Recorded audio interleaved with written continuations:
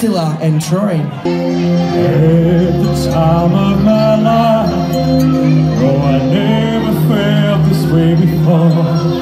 Yes, I swear, it's true, and I owe it all to you. Oh.